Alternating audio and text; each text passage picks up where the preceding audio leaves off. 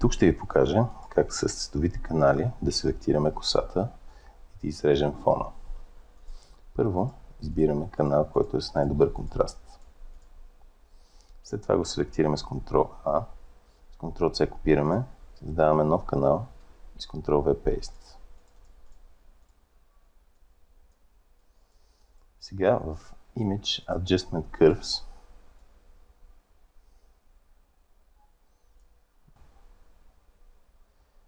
мога да направя черното да е по-черно, да изчиста белите.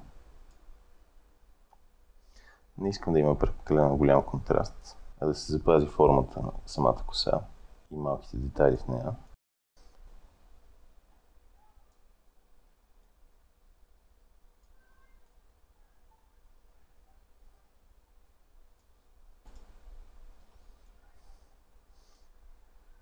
След това с четка и черно ще запълни вътрешността.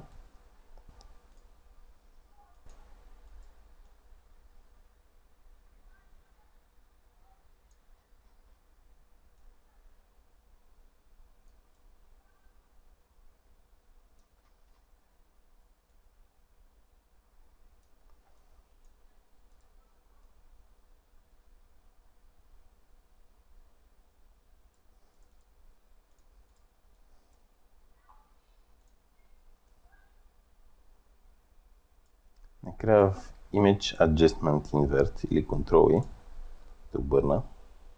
С Control клик върху канала селектирам. Пускам всички канали. Ще има един бутон Add Mask, с който се изрязва. Сега ще видя как стои пример на този фон. Тук има детайли, които не ми харесват, затова с Burn Shadows да ги изтрия. Така мога да направя за косата, но не е задължително точно тук.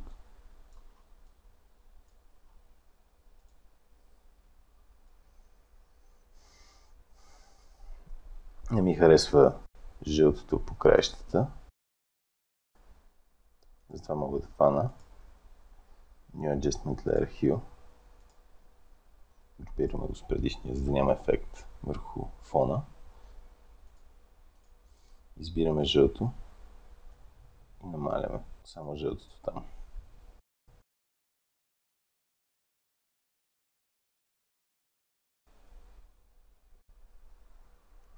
По същия начин ще направя и с Brightness Contrast.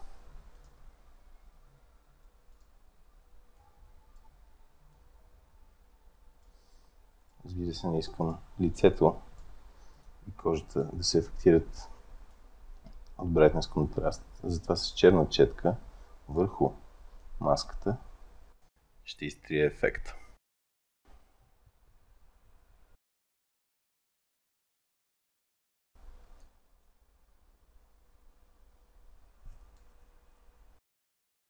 По този начин получихме нашата селекция с канала.